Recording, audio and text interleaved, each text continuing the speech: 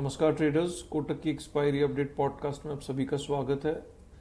मैं सहज अग्रवाल आज आपसे ओवरऑल मार्केट सेंटिमेंट और इमीडिएट एक्सपायरी आउटलुक की बात करूँगा।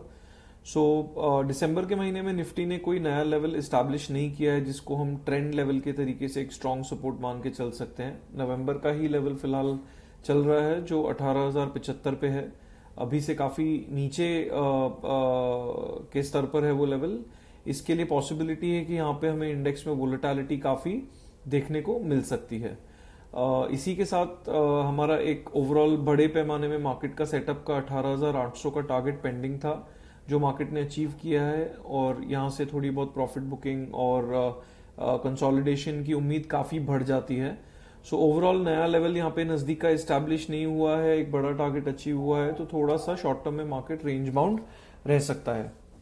uh, इसी के साथ यदि हम एकदम शॉर्ट टर्म सेंटिमेंट की बात करें तो वो भी हल्का नेगेटिव टर्न हुआ है और मोमेंटम भी हमें मार्केट में उतना नहीं दिख रहा है।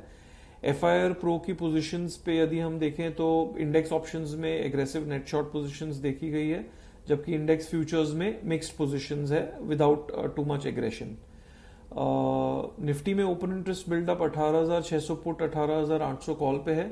जबकि बैंक निफ्टी में 43,000 पुट और 43,300 कॉल पे मैक्सिमम ओपन इंटरेस्ट देखा गया है। पिछले एक महीने की वीकली एक्सपायरी से यदि हम देखें तो ये रेंज काफ़ी नैरो होता जा रहा है। इसी के साथ हमने इंडिया विक्स में भी काफ़ी गिरावट देखी है जिसकी वजह से प्रीमियम्स थोड़े अनअट्रैक्टिव हो गए हैं ऑप्शन राइटर्स के परस्पेक्टिव से। सो so, ओवरऑल ये सब फैक्टर्स को ध्यान में रखते हुए हमें लग रहा है कल की एक्सपायरी के लिए 18,800 का रेजिस्टेंस के साथ निफ्टी ट्रेड करना चाहिए। और थोड़ी नेगेटिव बायस रहने की उम्मीद है।